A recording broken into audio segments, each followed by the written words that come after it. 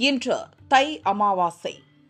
ஆடி அமாவாசை என்று நம்மை காண வந்த முன்னோர் தை அமாவாசை என்று பிதுர்லோகம் எனப்படும் முன்னோர் உலகத்துக்கு திரும்பிச் செல்வர். அவர்களுக்கு திதி கொடுத்து மகிழ்ச்சியுடன் வழி அனுப்ப வேண்டும். அவ்வாறு அனுப்பும் போது இருள் நிறைந்த பிதுர்லோகத்துக்கு செல்ல வெளிச்சம் வேண்டும். எனவே வீடுகளில் காலை முதல் இரவு வரை எரியும் வகையில் ஒரு விளக்கேற்றுவது முன்னோர்களின் ஆசியை பெற்றுத்தரும் நாம் விளக்கேற்றாவிட்டாலும் தெய்வம் அவர்களுக்கு துணை இருக்கும் என்பதை நிரூபிக்கும் வகையில் திருநெல்வேலி நெல்லையப்பர் கோவிலில் லட்ச தீபம் ஏற்றுவார்கள். இதில் ஒரு விளக்காவது நாம் ஏற்றும் விளக்காக இருந்தால் முன்னோர் அருளுடன் சிவன் அருளும் காந்திமதி அம்மன் அருளும் கிடைக்கும்.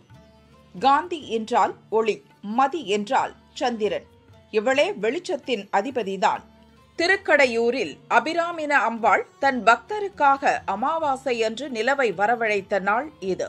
ஆக அவளது கருணையால் சந்திரனின் ஒளியும் இணைந்து முன்னோரை எவ்வித இடைஞ்சலுமின்றி பிதுர்லோகத்துக்கு அழைத்துச் செல்லும். தை அமாவாசையில் இத்தனை சிறப்புகள் இருக்கிறதா என்ன?